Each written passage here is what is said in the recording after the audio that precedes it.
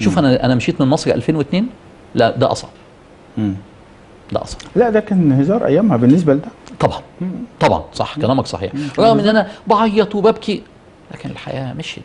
الحياة مشيت والرساله مشيت ومشيت بوضوح. لكن في الفترة دي 2011 الحقيقة عمرو خالد كان متلخبط. كان متلخبط في حاجة أصعب. عارف إيه هي؟ طب هسألك سؤال تاني. الرس... إيه، توجه الرسالة. لكن الآن لا أنا الدنيا واضحة قدامي لا لا تماما. خلك أس... واضح قدامي تماما والفكر المعتدل وإن أنا شغال مع الشباب وشغال في السوشيال ميديا. وبنجح معاهم طيب واضحة أنا قلت لك اتلخبطت قلت آه أسألك بصراحة طمعت خلي... خلينا خلينا نقول بصراحة.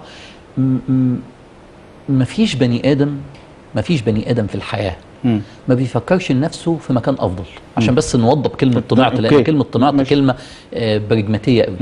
طمحت لكن- بلاش طمعت آه، طمحت. طبعا طبعا طبعا بس ما طمحتش آه، غير في شيء هتستغرب له جدا.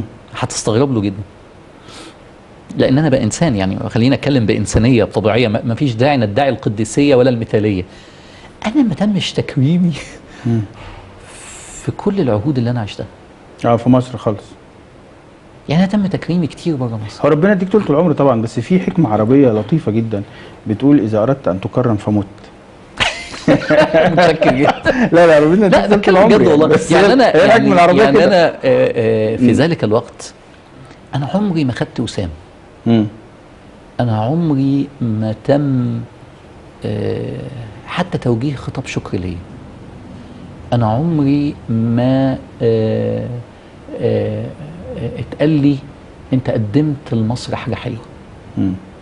أنا عمري ما حتى حتى بصرف النظر أقبل ولا لأ دعيت لمنصب. أنا مش عايز مناصب مم. لأ يعني فهمني صح. آه، آه، لا، لا، لا، أنا- مش عايز خالص. بس ما حصلش. دي لحظة لحظة فضفضة حقيقية يعني. آه ما أنا بحكي لك ب... آه. ما أنا ما أنا ما أنا ما هو أص من الخطورة على الشباب إنك تدعي أن أنت القديس التي لا تفكر في أي بني مم. لكن رسالتي غالية عليها جدا جدا. مستعد أعيش وأموت عليها جدا اللي رقم. واحد في حياتي اللي باقيه لك آه، اللي. باقيه لي واللي عايش بيها واللي بحبها واللي مخلياني مكمل واللي مخلياني أنا آه، آه، دكتور محمد أنا عايش 24 ساعة على السوشيال ميديا مع الولاد أنا بعمل برامج مخصوص للسوشيال ميديا مم. أنا أنا بكرة بكرة هكون بصور برنامج بسمه أمل أنا بعمله للراديو بعمله هدية لراديو مصر لأن ده راديو بلدي لازم أقدم حاجة لبلدي كل يوم بقالي خمس سنين الناس ما تعرفش المعلومة دي. خمس سنين أنا لا أتقاضى اجرا. لأن ده راديو مصر. لا خمس سنين بسمة أمل بتتذاع على راديو مصر ومن أعز البرامج عليها ثلاث دقايق. وبيكلم الناس في الإنسانية. ده من التطور بتاع عمرو خالد بسمة أمل طيب طيب